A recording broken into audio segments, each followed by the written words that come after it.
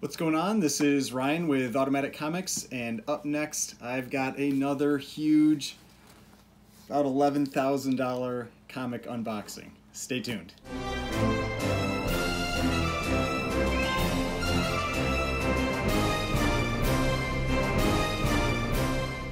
Alright, before we get started, please remember to hit that like button and hit the subscribe button if you'd like to see more content like this.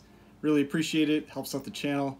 Now, I've got another pretty great unboxing this week. I don't normally buy this many comics week after week, but I've sold uh, quite a few kind of like bigger books recently, so I end up buying books really quick after that. I, I don't tend to hold on to the, the money for very long. I, I like to go out and buy new books right away. So I've got books all the way from some, some pretty awesome Golden Age books up to some moderns. So there's a, there's a little bit of everything in here. So let's get into this.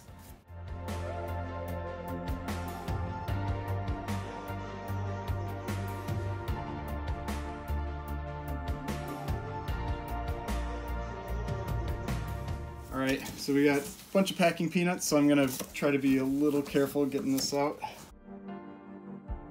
All right, so we got another one of those box inside of a box situations, so it'll be another minute longer.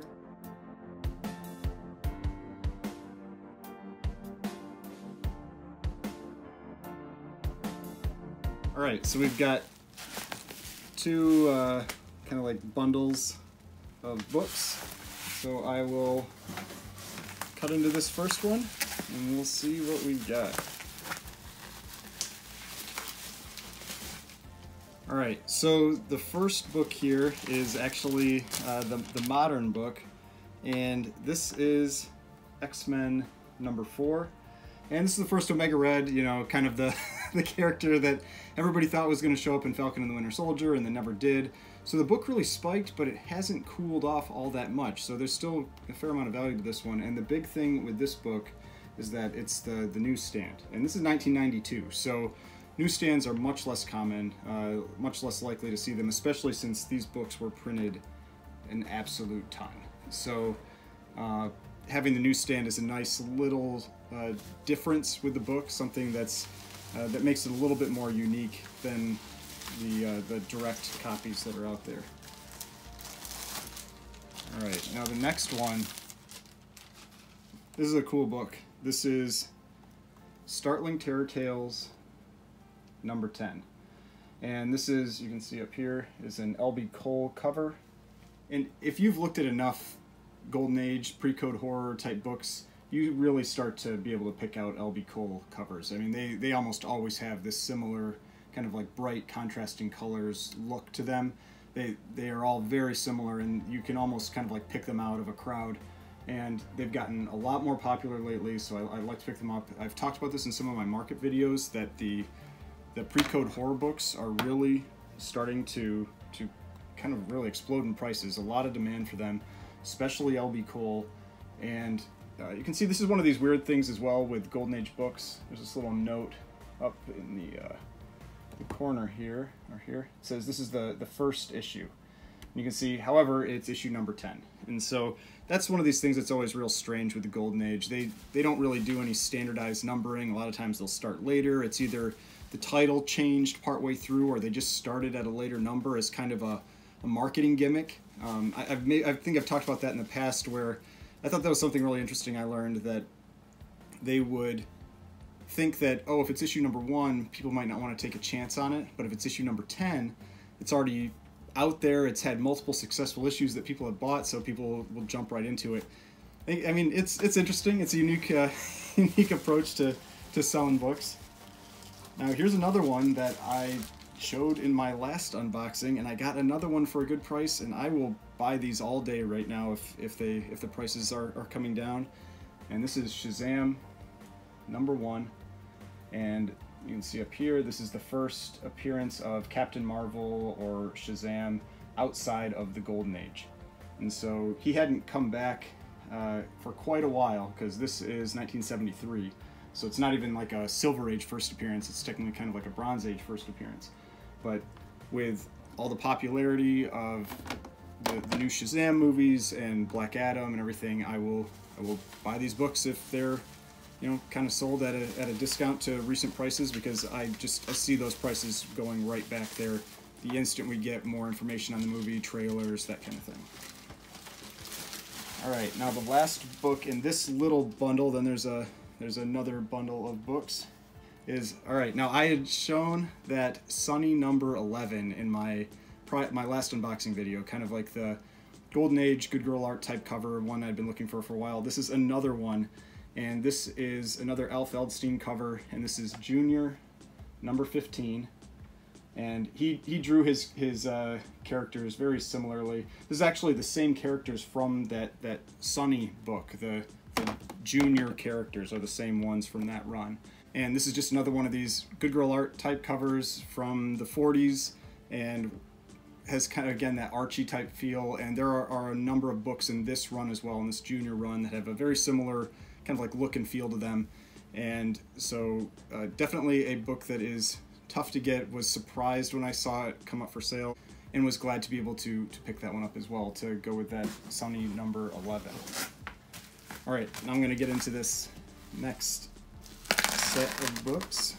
All right, I'm to save uh, this one to the end because that's a it's a pretty big one. All right, this is actually this might be the book. It's going to be it's arguable for me because the other one is a much more expensive book, but this is a awesome book. Very excited to get this. This is Batman number 52. And this is just this incredible Joker cover. 1949. He's got this, you know, this Joker hot rod. And I was, I was talking with someone about that.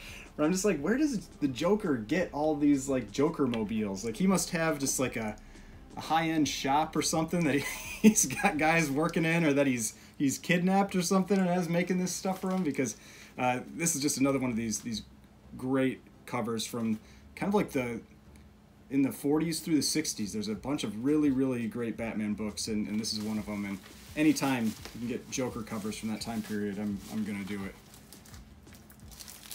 All right, now this is the this is the book that I talked about in my market video. So this is Avengers number 16, and this is the uh, first kind of like I'll call it appearance of the new Avengers. So it's Scarlet Witch, Hawkeye, and, and Quicksilver when they join. And this is an 8.0 white pages copy. Just a, I mean, a really, really nice looking copy of this book. And so, uh, very happy to to get this one. I've only had this book one other time, and it was a it was a lower grade. This one looks looks really nice. I'm definitely going to take a closer look at it because, I mean, it just it looks really, really clean and it doesn't doesn't really look like it's been pressed. So let's see if I can get it to show up. You can see, uh, there we go, how you can see those that bend there, right by where that light is. I mean, that's usually a sign that it hasn't really been pressed or it hasn't been pressed well. And so it's some, there are, I mean, there are definitely spine ticks, but I just, I wonder if it could, if it could press higher than an, than an eight, because there's no staining that I can really see jumping out on the back. The back cover is similar, let's see here. You can see uh, it's got it's hard to see in this uh, in this light, but there are some spine ticks along the back that look like they could be improved with a press. So I'll have to take a look at. I'll have to look at what the the prices really are for maybe an 8.5. Uh, I don't know if it could get up to a 9, but an 8.5 or a 9, just to see if it's one of those things that's worthwhile or not to have it pressed. All right, now this one is just a cool Golden Age book. Uh, this is All Star Comics number 36. It's a low grade, but it's 1947. Actually looks really nice. I mean, it's a 2.5, but it's got a complete looking cover. You know, it's a it's a cover detached. So usually with a detached cover, the highest you're ever going to get is a 4.0. Uh, and so this is at a 2.5. It's got obviously some other types of damage to it. Little you know piece out of the bottom down here, and there's some some tape over here on on the uh, on the cover. But in general, it presents really well, decent colors and everything. So just a, a book where you've actually got Batman and Robin guest starring in this one. So they, they weren't always in this group. It was more often that you'd have you know like Green Lantern and the Flash and Hawkman that kind of thing. So having Batman and Robin there is a little bit bigger of a deal. All right, now I've got the biggest book that was in this box. And it's actually an upgrade to uh, one of the books back here on this shelf. And this is Hulk 181. Still a green label, but it's an upgrade to my, my 7.0 uh, green label up there. Uh, this one is a white pages copy though, uh, my other one is, is not. It was an off-white to white pages, so a little bit upgrade there, a little bit cleaner copy.